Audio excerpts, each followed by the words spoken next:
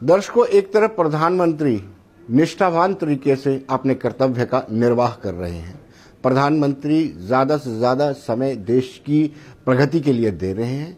प्रधानमंत्री देश के युवाओं को साथ लेकर के देश को विकास करना चाहते हैं, विकसित करना चाहते हैं और विकास की दिशा में ले जाना चाहते हैं। लेकिन दूसरी ओर भारतीय जनता पार्टी के नेताओं की एक सोच देख करके हैरानगी होती है।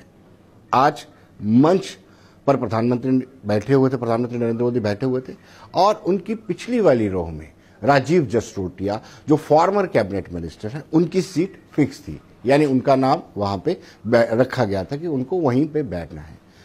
मीन प्रधानमंत्री नरेंद्र मोदी खुद राजीव जसरोटिया को बोलते हैं कि आप जाए और अध्यक्ष रविंद्र रैना से कहें कि अब सीधे किसी और को ना आमंत्रित करते हुए प्रधानमंत्री को ही आमंत्रित करें ताकि वो अपना संबोधन शुरू कर सके, क्योंकि समय का अभाव था, उनको श्रीनगर भी जाना था।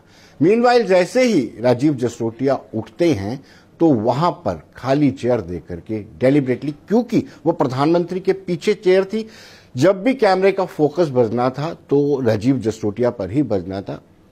इसका फ़ायदा उठाते हुए प्रिया सेट्टी जो फार्मर मिनिस्टर भी हैं नॉमिनेटेड एमएलए भी हैं फार्मर वहाँ पर बैठ गई। और जब राजीव जसरोटिया आए तो उन्होंने उसको उठने के लिए कहा।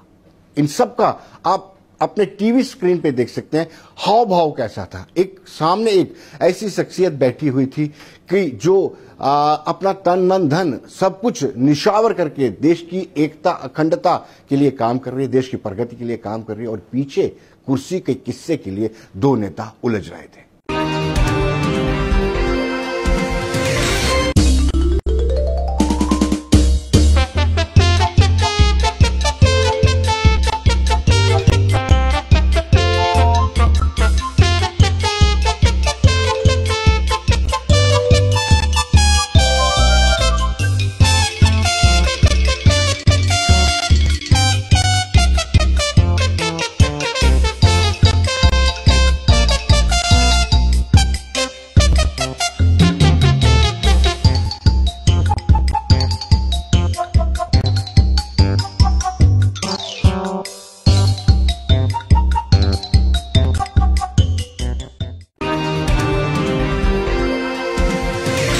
दर्शकों, एक मरतबा फिर मैं वो सीन दिखाऊँगा कि किस तरीके से प्रिया सेठी आकर के चेयर पर बैठती हैं और वो खुद को ऐसा महसूस कर रही है, अनुभूति ऐसा कर रही है कि जैसे उन्होंने एवरेस्ट का किले फतेह कर लिया हो।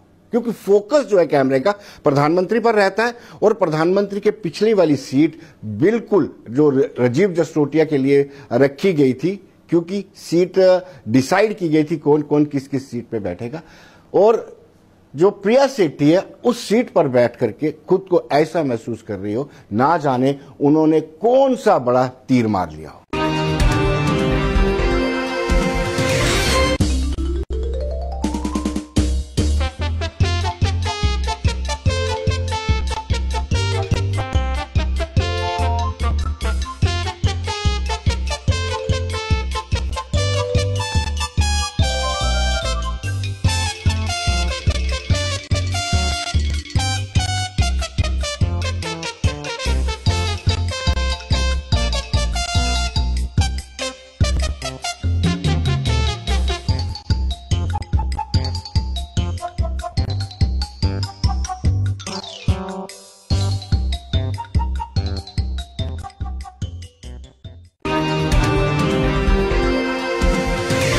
इसको एक मरतबा फिर मैं आपको बता दूँ कि सीट की जो सेटिंग थी, उसमें राजीव जसरोटिया बैठे हुए थे पहले से ही।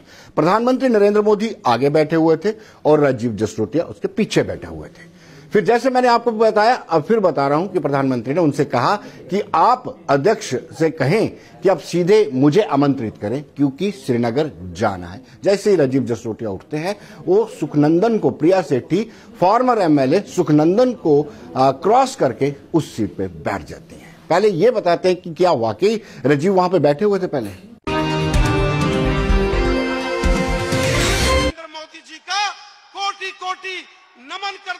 धन्यवाद करता